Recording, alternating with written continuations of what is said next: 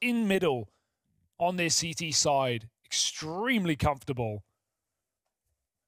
Na'Vi just sweeping this game aside, and FaZe may not get a chance to warm in.